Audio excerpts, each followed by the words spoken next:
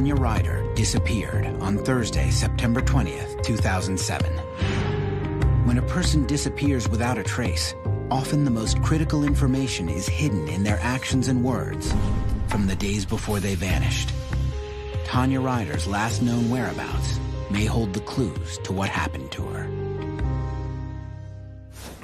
A hardworking woman heads home to catch some sleep after her overnight shift.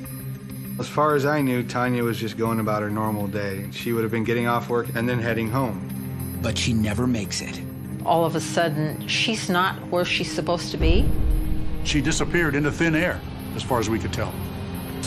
Without a single clue, her husband must search for her, alone. Not knowing is enough to make you go insane. Tom is having the battle of his life. I was waging a one-man battle against overwhelming odds just to even get heard. To reach the shocking conclusion that turns into a media sensation. Whoa, what's going on here? Oh my God. Oh my God.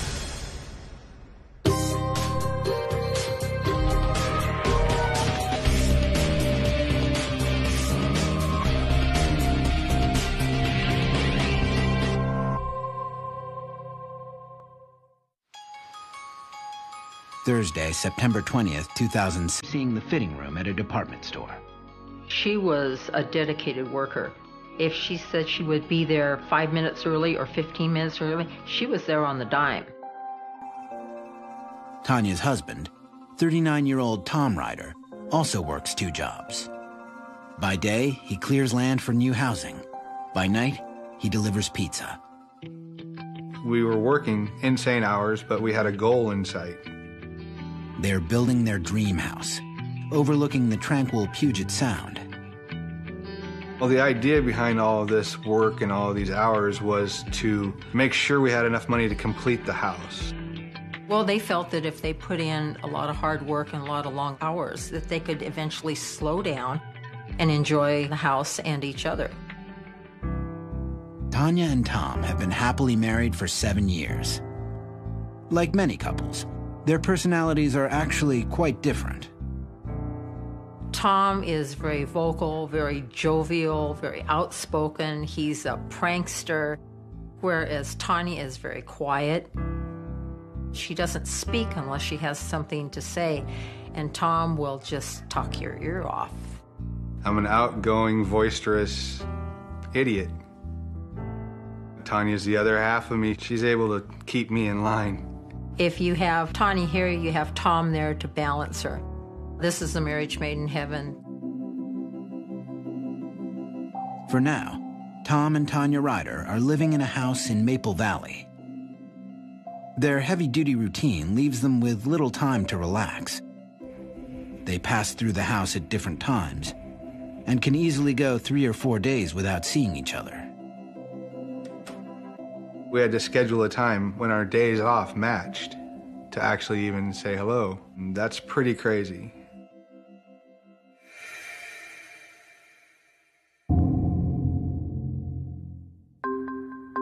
On Wednesday evening, Tom and Tanya enjoy a rare moment of togetherness. She was home that night when I got home, so we actually got to talk a little bit and have a little you know, family time. I made her laugh, she made me laugh. Later that night, Tanya works her overnight shift at the grocery store in Bellevue.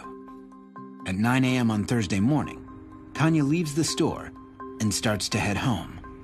Well, as far as I knew, Tanya was just going about her normal day. I mean, she would have been getting off work at 9 o'clock, having breakfast, and then heading home. Little does Tom know, Tanya never makes it home that day.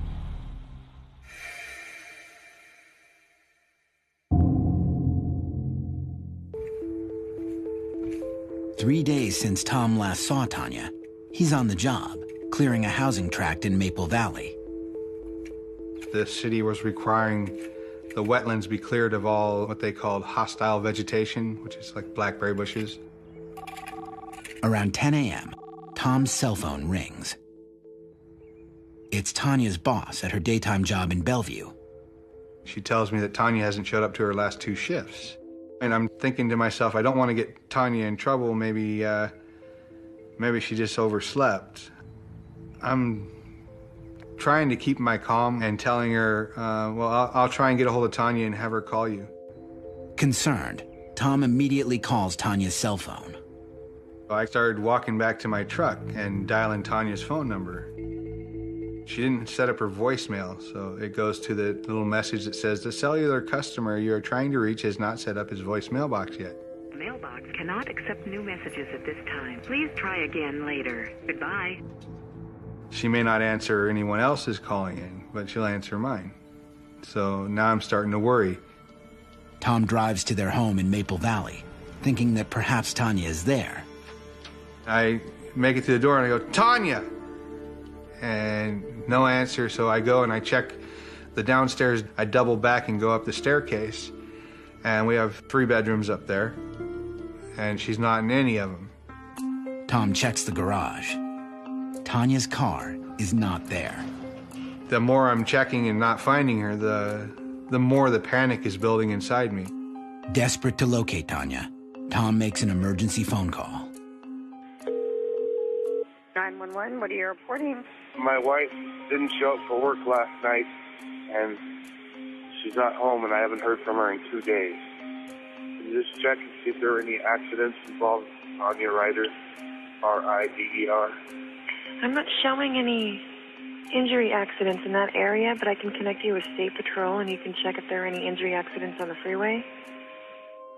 The 911 operator tells him there are no reports of an accident on the highway either. But this doesn't bring Tom any relief. In a single morning, Tom's world is turned upside down. So at this point, I start to just, I'm losing it. I start thinking about what could have happened. For Tom, the reality of the situation starts to set in. No one has seen Tanya since she left her overnight shift at the grocery store Thursday morning. Tom realizes, oh my God, she's been gone and unaccounted for in everybody's life for two days. Coming up, the clock is ticking, and Tom is struggling to get police to investigate Tanya's disappearance. I was furious. I was not going to let them not do their job.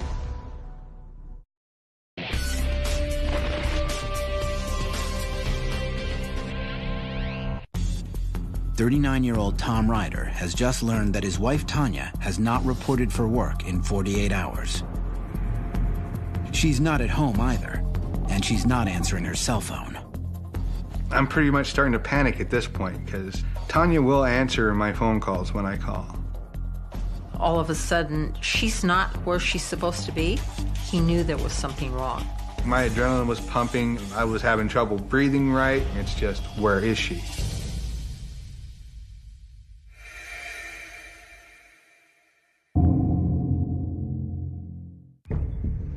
There is one more place Tom Rider thinks to check. I'm headed to her second job, just in case that's my last safe possibility that's in my brain is that they've changed her shift and she had to work at her second job. On the highway to Bellevue, Tom keeps trying her cell phone. There's no answer. So, of course, his mind starts playing mind games. The what if? Has someone kidnapped her? Is she alive? Is she dead? Somebody stole her car. Somebody robbed her at gunpoint. She's got amnesia and she's in the hospital and they stole her wallet and have her ID. All these different possibilities are just flooding into my mind. Nearing Bellevue, Tom calls 911 again. This time, he wants to report his wife missing. 911 connects him with the Bellevue Police Department, and they make arrangements to meet him and interview him to see what's going on with his wife. Minutes later, Tom arrives at the department store where Tanya works. He meets the store manager, and they start talking before the police arrive. The manager tells Tom that Tanya is due at the store within the hour for her regular shift at 1 o'clock that day. Tom waits anxiously to see if Tanya will show up for work. My brain is still trying to cling to the safe possibilities. It's still trying to, to believe that she's going to be here and everything's going to be all right. One o'clock passes. No Tanya. when she had a schedule, she stuck to it. And so Tom knows that when she has not shown up for work, he has a reason to be really alarmed. For Tom, there is no longer any question about it. Tanya has truly disappeared. It was painful and scary, and it was like someone had just torn duct tape off of my eyes. I was in a mode that I hope no one ever has to go through. Soon, responding to Tom's 911 call, a Bellevue police officer arrives at the department store. He questions Tom. What does your wife look like? When was the last time she was seen? What was she wearing? Have there been any disputes between you? The officer determines Tanya's last known whereabouts were at her nighttime job. Immediately, they call the grocery store to speak with Tanya's boss, who is able to locate a security video that shows Tanya leaving the store at 9 a.m. on Thursday, September 20th. It's the last time anyone sees Tanya Rider. The tape showed Tanya leaving, walking into the parking lot, apparently normal. No one was following her. They do have her leaving at 9 o'clock in the morning, Thursday, the 20th, and getting into her car and driving away. She didn't look stressed like she was being followed. Because the tape shows Tanya heading home to Maple Valley in her own car, on her own free will, the officer informs Tom he will have to refile a report with the King County Police. John Urquhart is a sergeant at that precinct.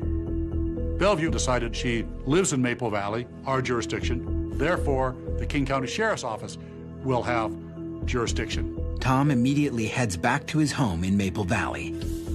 I know, based on a conversation I had with the officer, that I won't get referred to the right 911 operator until I get closer to home. As soon as he crosses the county line, Tom calls 911 from the car. This time, he's connected to a King County emergency operator. My wife is missing. My wife's name is Tanya Rider. He goes through the story again, and he couldn't find any record of her being in an automobile accident, so there had to be some other explanation what had happened to her. And he was quite insistent. Something else is going on here. You need to help me. Tom urges the King County operator to file a missing persons report for Tanya. But the operator declines to file the report. Before anything else can happen, the operator tells Tom, he must check the local hospitals and jails for Tanya. The moment that I'm making those phone calls, calling the jails, calling the morgues, calling the hospitals, I'm praying that it's the wrong way, that I'm looking in the wrong direction, but I have to look. There's no record of Tanya anywhere. So I call back the 911 operator. She's not in any of your jails. She's not in any of your hospitals. She's not in any of your morgues. She's not at home. My wife is missing. For a second time, Tom asks the operator to file a missing persons report for Tanya. Just because she's missed work, have you? Did you guys have any arguments, No. discussions, just problems? Have you checked any of the other family members in the Buying a area? house in Maple Valley Have you contacted any other family members that she may go to? and talked to her family members. Again, the operator declines to file the report, insisting that Tom must try contacting Tanya's friends and family members. History has told us in other cases it's very, very important for family members to be contacted. Oftentimes that'll solve the case very quickly. I haven't called her family in years. I called each and every one of them. They didn't have a close relationship, and they haven't heard from her in months. Tom calls King County 911 a third time. He knows with each passing minute, Tanya could be in danger. So he pleads with the operator to take the report so the search for Tanya can begin. He's very, very insistent. He says, I've called the family members, I've called the hospitals, I've called the morgue, I've called the jail, I've done all you've asked me to do. They're going to have to take a report now. Now it's their turn, is what I'm thinking. I'm thinking now they're going to come on board. Now they're going to start looking for my wife. But instead, the operator declines to file a missing persons report for a third time. He cites certain criteria that Tanya's disappearance must meet before it becomes an active case. Is the person suicidal? Are they being treated for a mental health issue? Are they elderly? Is there some sort of suspicious circumstance that surrounds their disappearance? But Tanya's disappearance does not meet any of them. Can you send an officer over to at least take the report?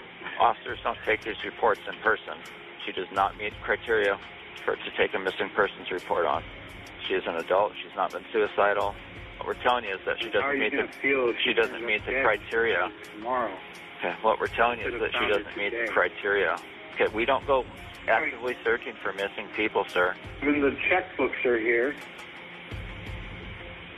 I'm telling you, something has happened to my wife. The 911 operator suggests to Tom that Tanya likely left on her own.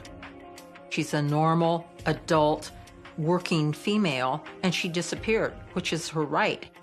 She's over the age of 18. She's an adult. She can go where she wants, and she doesn't have to tell you. Shocked by the operator's refusal to file a missing persons report, Tom struggles to contain his anger. You're treating it like, oh, well, this idiot, his wife just left him, oh, hell with it. How long does she have to be missing before you'll take a report? There is no set time. So what you're telling me is, unless she turns up dead, you're not going to care. At this point, I am trying very hard to keep an even keel in my voice. If I knew where he was, I would have been down there forcing his hand to write the report. Four days after she was last seen, no official search for Tanya Rider is underway. Three 911 calls from Tom Rider have failed to initiate an investigation, and he fears that the longer it takes to start looking for her, the less likely they will find her alive. If Tanya is in danger, the police need to get involved, and the clock is ticking. Tom, at this point, is at a loss for what to do without any help, so he has to take it on himself. Tom contemplates going to the police station to make his case in person, but he fears that they too will reject his plea to start an investigation. Instead, he decides to take matters into his own hands by involving the media. I figure I'm gonna force their hand. I figured I'm not gonna let them not look for my wife. I'm gonna call the media and make it loud and messy. But the news station requires a police issued case number in order to run a missing person story to avoid inadvertently reporting false information.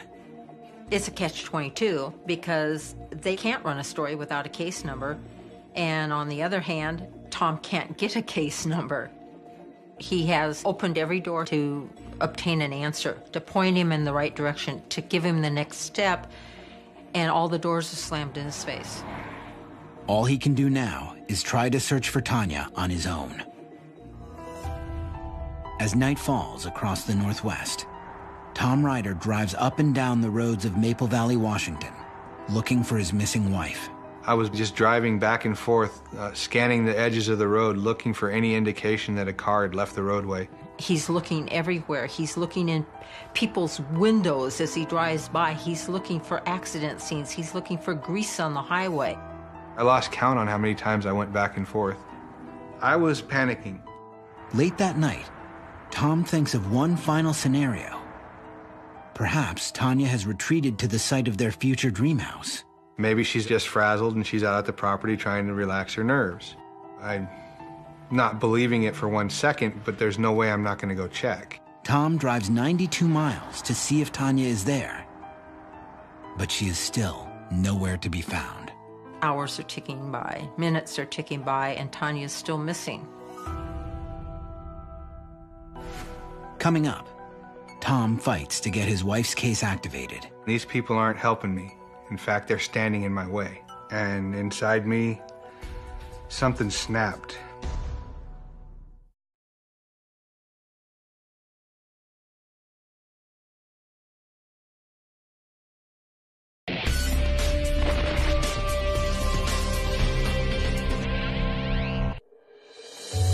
Thirty-nine-year-old Tom Rider is devastated. His wife Tanya has disappeared. It's crazy. The man was trying to hold it together as his life is falling apart. He's also furious. Despite repeated calls to 911, Tom can't get police to launch a missing persons case. I was waging a one man battle against overwhelming odds just to even get heard. But time is of the essence, and Tom knows he needs the police if he has any chance of finding his wife. I know I can't do it all myself. I know I need their help. The chances of finding her were better with more people looking.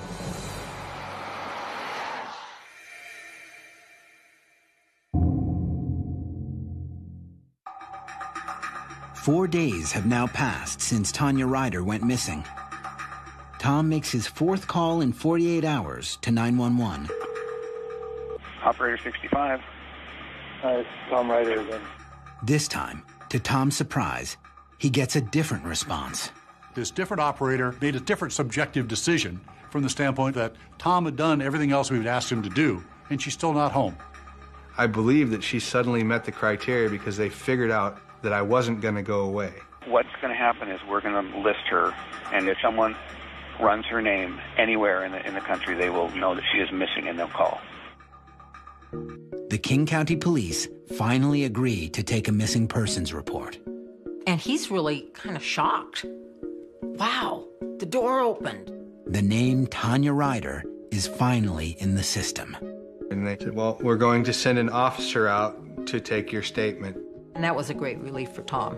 He couldn't relax, but at least he could grab a breath. Five hours later, a King County police officer arrives at Tom's home in Maple Valley. He hasn't even gotten out of the car yet, and I'm standing there waiting for him at his door. I tell him the same things that I told the 911 operator I need your help to find my wife. Tom invites the officer to search his home. I say, if you'd like to search my house, you don't need a warrant. You can look right now. Tom wants the police department to know I want you to do whatever you have to do in the least amount of time to do it in order to find my wife. There's something wrong. I feel like she's in danger. Although Tom is being very forthcoming, in these cases, the husband often becomes the number one suspect. He asked me to wait in the driveway because he wants to search the house without me leading him or anything like that. We're real interested in kind of looking around and determine did she pack a bag or personal items missing, uh, wallet, credit cards, money, that sort of thing. He doesn't see any blood spatter. He doesn't see furniture turned upside down. He doesn't see any indication of dispute. He noticed the things that I was telling him that her paychecks were on the banister, her bank card was on the counter. Nothing was missing from the house, and in fact, uh, some of her credit cards were still there. The officer tells Tom that a King County sergeant will still have to determine whether or not a detective will take the case. So again, Tom is kind of one step forward, two steps back. But meanwhile, Tanya's disappearance has a case number now, so the media will run the story. He gets it out on the news to let the public know that his wife is missing. Bellevue police say a surveillance tape shows the 33 year old 5 foot 10 inch blonde woman getting into her car and driving away as normal as can be. Tom says there is no reason for her to run away, and now he's putting up a $25,000 reward to help find her. I called every local media outlet at this point. I was going to make sure there was going to be an investigation.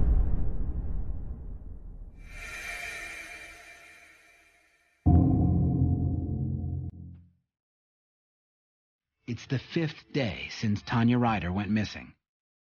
After another sleepless night, Tom goes to work. It's the only thing I knew to keep my mind from going over the endless scenario of possibilities.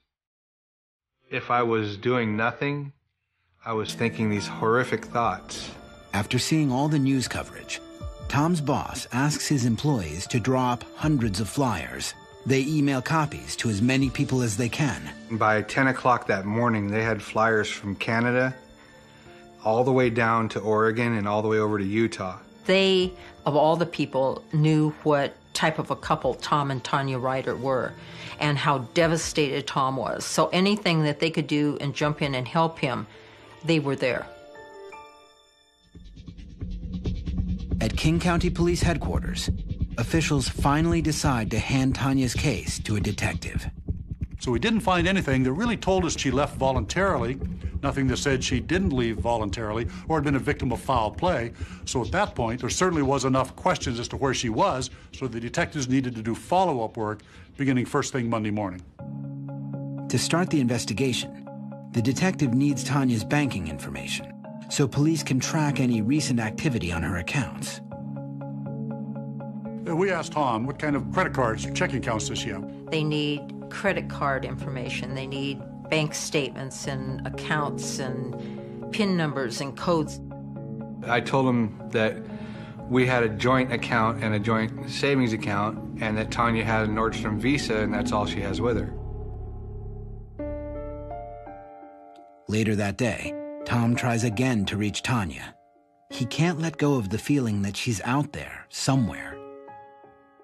I, I decided to try and call her phone again because it, it's been giving me this weird feeling of knowing if her phone's still alive, maybe she is. And when I called this time, it went straight to the message. It didn't ring at all, which meant the battery died. Whatever hope Tom has that Tanya is alive evaporates. There's nothing left that I can do. I've done everything that I can do. And inside me, something snapped. I kind of fell down and I couldn't get up. Can't move. Just when he's lost all hope, Tom's cell phone rings. It's the King County investigator. With some incredible news. Police have tracked activity on one of Tanya's bank accounts. We're going, whoa, what's going on here? Somebody's using that card. Coming up, a surprising tip leads police to an unexpected interrogation. And something's not right with this guy's story. And something's just not right with this guy's story.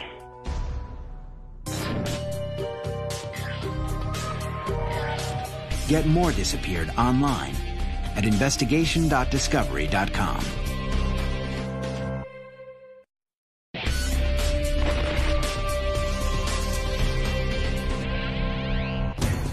Thirty-nine-year-old Tom Rider is experiencing the single worst trauma of his life. His wife Tanya has disappeared. I'm feeling hopeless. I'm feeling completely powerless. But four days after Tanya's disappearance, police think they have a break. There is some activity on one of Tanya's bank accounts. The detective calls Tom and lets him know that there's a ray of hope. It basically gave me the impression that Tanya was alive, that she was out there and she was okay.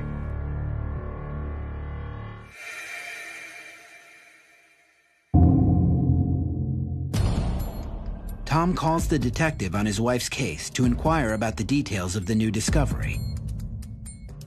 I asked her specifically what account she was monitoring that she saw activity on. She said, I saw activity on Tanya's checking account. As far as we knew, she had the only access to the account. Therefore, any activity on the account would be through her debit card.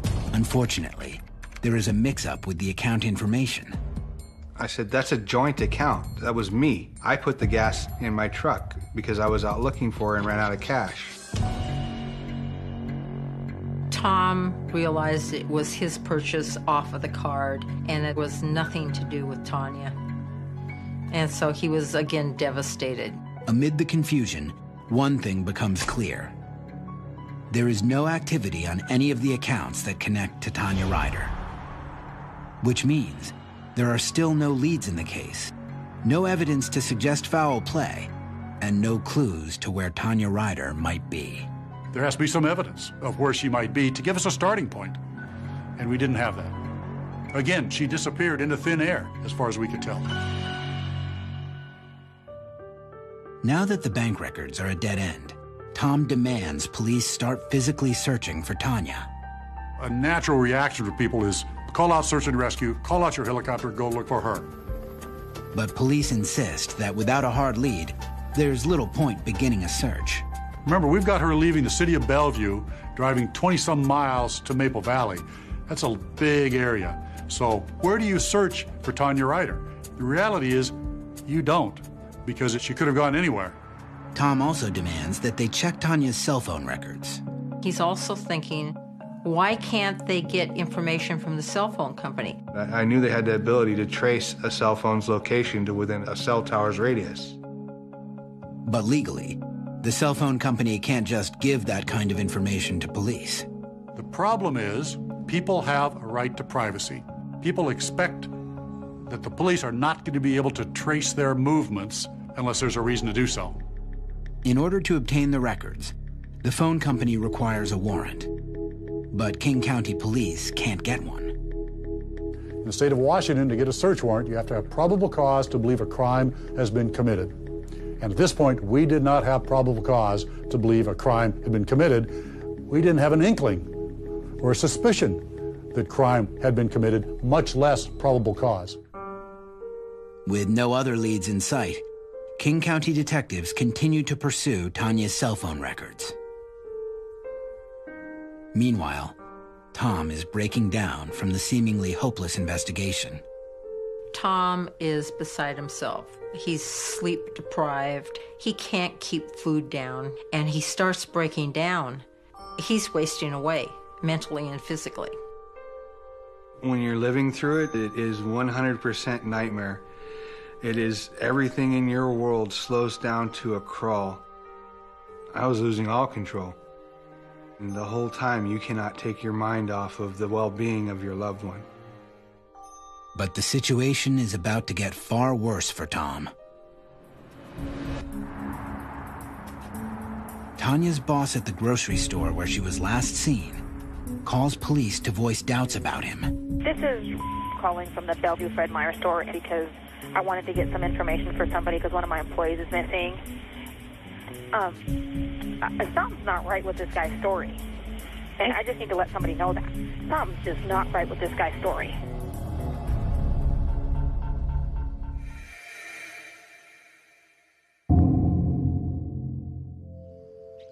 Eight days have now passed since Tanya Rider disappeared. The recent suspicion raised by Tanya's boss is the only thing police have to go on. So they turn their attention to the husband, a usual suspect in these types of cases. But they have no evidence against Tom Rider. We have to eliminate people from being a suspect in cases like this. And certainly the husband uh, is the number one suspect.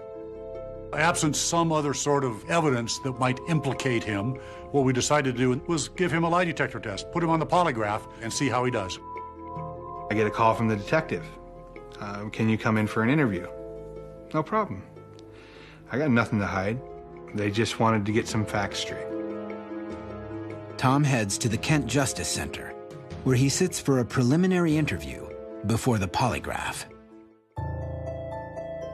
As the interview progresses, the nature of the questions starts to irritate Tom. Was your wife all right the last time you saw her? Was your wife unharmed? Did you do anything to anger her? So it's just, you know, did you hurt your wife? Everything except for did you kill your wife? Tom gets the feeling police are doubting his innocence. They were trying to coax a confession out of me. They had made up their minds that I had done something. All he could think of was are they waiting for me to stand up and scream, I'm guilty? I murdered her? I wasn't fully aware of just how rattled I already was. It was like, this is it. They're going to be crucifying me down here. Aching with fatigue, Tom feels the walls closing in on him. My wife never laid a hand on her, never raised a finger to her. You know, I haven't done anything. I knew I was at my breaking point. Coming up, the stunning conclusion to Tanya Rider's mysterious disappearance. So we put detectives out looking to see what they could find. I mean, it's a needle in a haystack.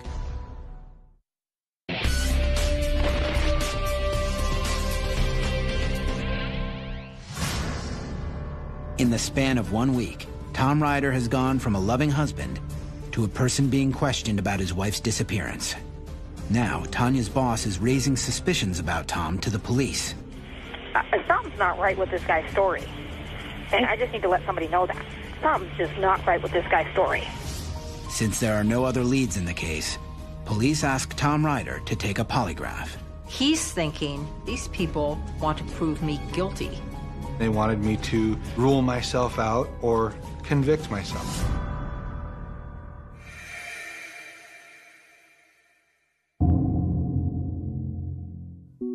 While following up on the lead from Tanya's boss, police are still pursuing a warrant so the phone company can release Tanya's cell phone records. This is something that took time and a tremendous amount of frustration that we couldn't get to those cell phone records. Finally, there's a break. a sympathetic judge signs the warrant, and police are able to retrieve Tanya's cell phone records. The information they obtain takes the investigation in a completely new direction. The detectives were able to look at the records and determine which tower was accessed. They were able to narrow that down into essentially a pie-shaped area, three to five miles out in a particular direction. The latest is that it's actually hitting off the southeast of that tower. We can give you the latitude, longitude of that tower. Within this area is the highway Tanya Rider takes on her daily commute. So now we know she was probably on her way home. So we put detectives out walking down that highway looking to see what they could find. We fan out on each side of the roadway and just start walking down the shoulder. And this is a state highway. There's a lot of traffic, 50,000 cars a day on this roadway. I mean, it's a needle in a haystack. As detectives are grilling Tom Rider, police continue with the Maple Valley Fire Department to search desperately for any clues. It could have been just the phone tossed out of the car, or it could be the whole car, or nothing at all.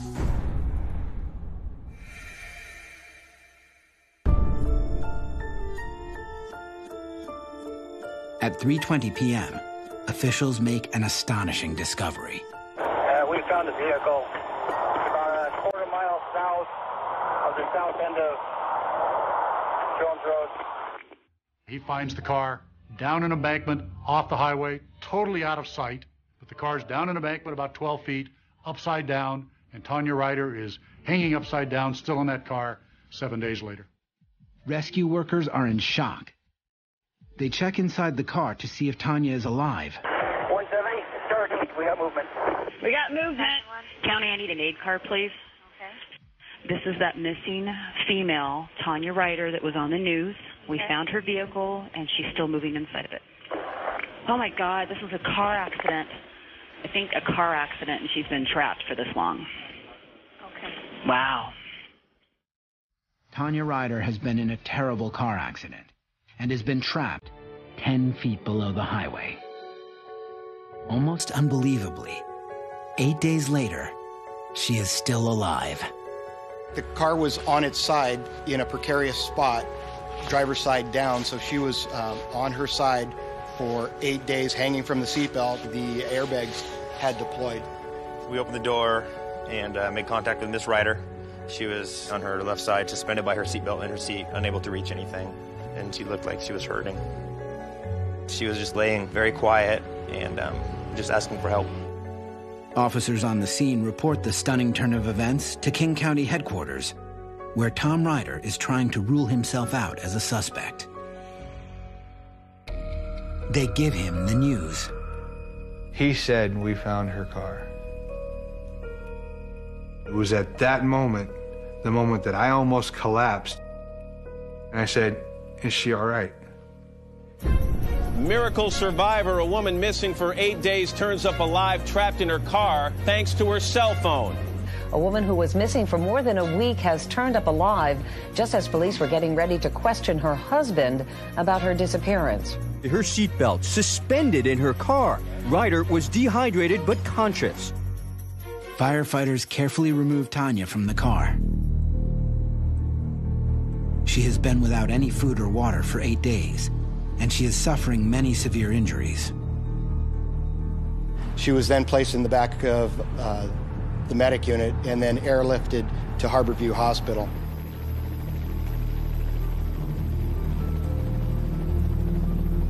Her organs had started shutting down because of lack of water intake.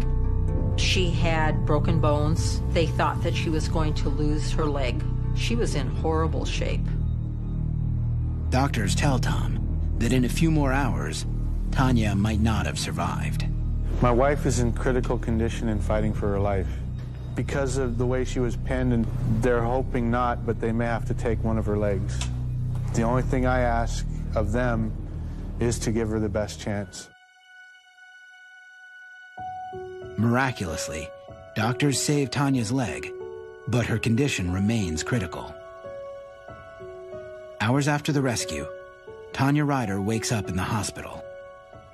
The first thing I remember is waking up and seeing a nurse next to me and feeling very thirsty. I wasn't aware of what had happened to my body. Tom and Tanya's reunion is emotional for both of them. I didn't really understand everything that was going on, but when I saw Tom, I saw my comfort space. I knew everything was going to be okay. She recognized me, and I saw tears well up in her eyes. Her expression softened, the tears started to flow, and she knew that I was there. And I love her more than I love my own life. It was a big relief, but it was also absolute pain to see my wife bandaged from head to toe. Tanya's car was found less than six miles from their home in Maple Valley, a fact that haunts Tom to this day. I drove right past where she was off the road and couldn't see her. But I didn't know it. I drove right by her lots of times. I didn't know it. In the aftermath of their extraordinary ordeal, Tom struggles to balance gratitude with rage. She was in that car for eight days. All I know is no one else should have to go through what she went through. When the simple pinging of a cell phone could have led him to her an hour.